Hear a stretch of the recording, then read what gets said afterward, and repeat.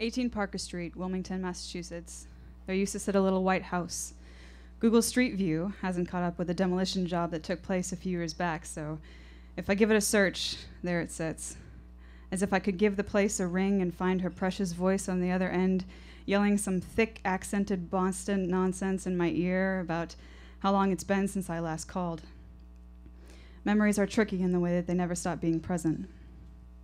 18 Parker Street was the home of my grandmother, Mimi Foley, a strong willed Irish Catholic woman with a heart of a puppy and the remarkable ability to have lost every remote in the house at all times. Turn it off! This is horrible! Turn it off! Turn it off! I'm trying, Mimi, I swear. I'm half assed looking for the remote. I think you have it. I can't watch. Those slimy, horrible. Ah, please turn it off. Steve Irwin is playing with snakes. She hates snakes. Says they come out of nowhere, especially in the Black Lakes. Can't see them coming, not until they've wrapped their slimy muscles around your limbs and dragged you halfway down to the water's floor do you realize you've been taken. Mimi, I'm almost 100% sure that it's under your butt. She has both her hands over her eyes, peeking through her fingers. Stop looking! I can't! Yes, you can! I'm almost laughing now. I'm smiling so hard. She peels one of her hands away from barely blocking anything and starts reaching around the crevices of her baby blue felt La-Z-Boy. The brown wooden handle on the side pops up her toeless left foot. An aggressive form of diabetes has been eating away at her flesh for years now, but both her breasts, lost to cancer, says this body ain't going down without a fight. She's a Foley. It's a natural response. Mary Teresa Foley, to be exact. Fitting she'd be named after a saint. The closest thing to religion I've ever known was the unwavering devotion her mighty soul called love. I'm in the kitchen now, spiraling my way into a can of SpaghettiOs. The meatball ones are my favorite, but the plain ones are 20 cents cheaper, so I'm making do. I toss them in a microwave and project my voice into the sunroom. Did you find it? She giggles, the laugh of an 86 year old child. I did. You were right all along. It was under my butt the whole time. She lifts it up in the air as evidence. Nice and warm, I bet. What? Never mind. I smile up at her innocently, finding a seat next to her on the floor. You hungry, memes? I say, sticking a spoonful of steaming hot saucy O's in front of her mouth. No, thank you, dear. I've been eating cookies all day. Cookies aren't dinner, Mimi. I say, positively serious. I know, dear. Why is the screen fuzzy? I panicked! She screams mid giggle. I switch channels and hop up.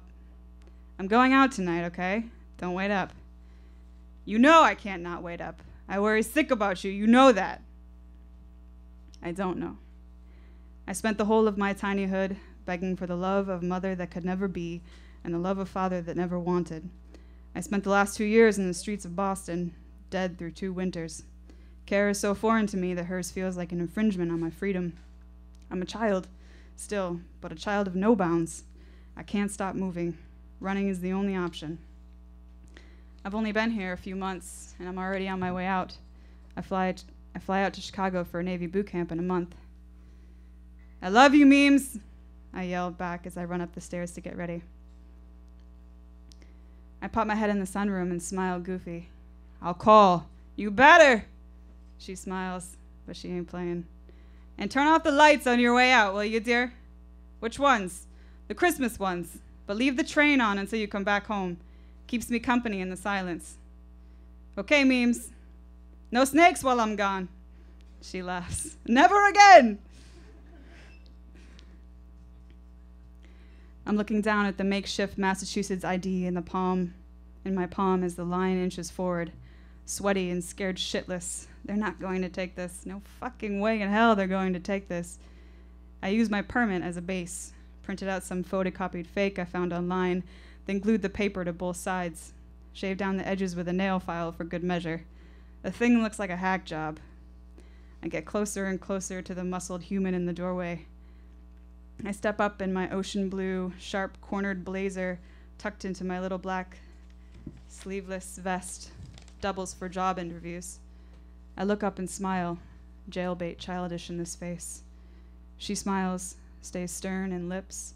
She doesn't ask for my ID, just puts her callous fingers under my elbow and pulls me through the door. Have fun, she demands. Okay, I whimper in excitement. The woman behind the ticket booth catches my entire frame with one glance, scans me thoroughly, smiles like Christmas table full of meat makes you smile, starving. You're good, they say in unison. Eerie. My cunt is pulsing and I'm covered in goosebumps. I know no one in this world, all of it. Whole, rotting, gorgeous world, I know no one. I am inside, dripping in between them all. The ceilings are church like, unreachable, pipes and mazes dangling by thick wires. The room is dark, but light compared to the screaming black that is the dance floor to my right. Three pool tables full of women look up and watch me watch it all. My wonder is edible. You could lick it off me and taste everything I've never known.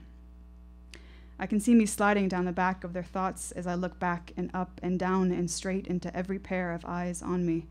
I'm a puppy in a cat park, heated pussies hissing to rip me open.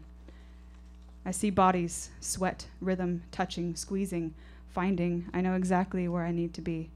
I practice this in front of mirrors for hours on end, in job interviews, on stages, in neon, naked, drool down stranged, scuffed chins.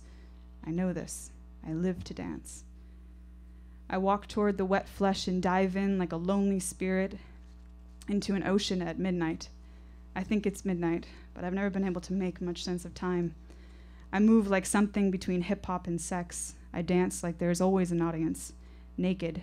Sex hides there, in the wanting, in the being wanted. Her hand, her hands find the front of my pelvis, wrapped around from behind. I can feel the heat of her cunt on my coccyx traveling up my spine, resting on the hairs of my neck, met by the warmth of her breath already waiting there. I move my entire human into her as she tightens her hold. Her left palm slides up to dip down into jeans. She pulls hair. I smell myself. I'm so wet. I'm up against the wall. Her lips peel from my neck and meet my ear. I have a boat on the bay. Come with me. I didn't have to be asked, so I don't answer. I eye the woman at the door on my way out, begging. It's leaking out of my eyes like crying. I want all the want. The back of the parking lot, far enough away from the building to be nowhere, he screams, Hey, faggots! A glass bottle hits the hood of a Camry three cars down. He gets closer, still separated by a fence, but much closer. My blood is hot and stuck against the inside of my skin, refusing to move. My mother must be near. Hey, Mike, come check this shit out. They're not faggots, they're fucking dykes. And hot fucking dykes at that. Hey, beautiful, why don't you fuck right here? Save yourself the trip home. Silence. This isn't a safe zoned bubble on a millennial campus. This is Rhode Island at 2 in the morning. This is where women don't walk around alone at night. It's best not to engage. Bitch, you hear me? I said you ladies shouldn't be out here alone this late. What are you, mute, deaf, both? Fucking cunts.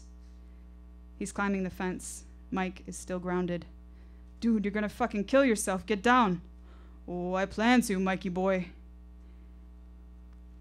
He's up and over and dangling. She loosens her grip from in between my fingers. Fuck this.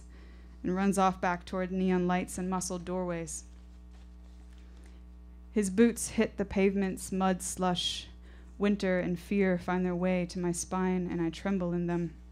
I'm trying to move, but as the thought balls itself in my neural pathways and shoots down to my limbs, his fingers are wrapping around my forearm and pulling.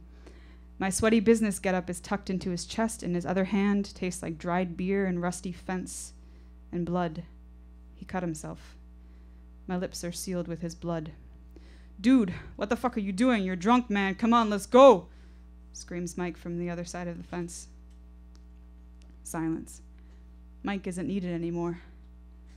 Dude, fuck. Where are you going? Fuck, fuck, fuck, fuck. Mike is muttering as he fades into the distance. I can't walk. I'm stuck. It's a place I go. So I'm dragged. I smell the woods and I am calm.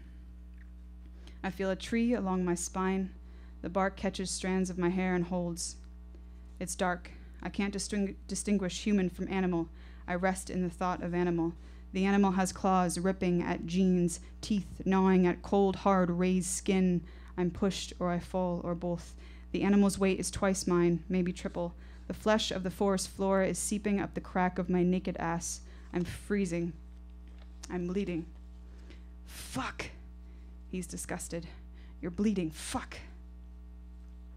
He finds the Kotex rope and pulls. It feels like a combination of shitting backwards and headphones being ripped from your ears. The music is cut abruptly, white noise left in the place of sound. Everything is ringing. He tosses it. I smell iron. If I fight it, I'm not straight. I get to stay gay. If I don't, it doesn't have to be rape. I get to stay alive. I die inside white space. I feel pain, but also nothing. When pain cannot carry itself, it flees to nothing. It hides in flesh and forgets itself. The sun is peeking over metal playgrounds, setting light to the war of night, a bleeding, bloody massacre. Fuck, gross. What if someone sees that? Some kind, do nothing guy or girl just out for a stroll, just out for some coffee. They don't need to see this shit.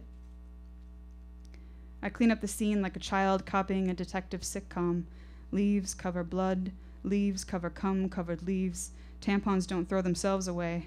The trash is full, but I can't just swing it around like a pocket watch. The recycling is empty. Maybe there's more than one way to reuse this recycling trauma through bodies so no one's stories is trashed. Fuck. It's trash day. I didn't put the bins out. Memes is gonna kill me. Memes. Fuck. I never called. I open the door as quietly as my shaking hands can muster. I creep into the dining room and pull out a chair, especially grateful to find a cushion where an almost unbearable soreness was expecting otherwise. It still hurts, though. I stare at the model train as it makes its way around the table, past me, carries on. The lights in the windows, the snow on the streets. There's a there's a little man at the post office, a woman at the stop, waiting for a train that never will. Is that you? Yes, Memes, it's me. No response. Then weeping. Not crying, she's sobbing. I put all the weight of my upper body into the palms of my hands and pushed myself up, make my way to the sunroom. I told you to call me. If you. I waited. I was so. I couldn't sleep. I was waiting for your call all night. I was so scared. Why didn't you call? I thought something terrible. I was. I was so. I make my way to her baby blue chair and kneel beside her kicked up legs, lay my head heavy in her lap.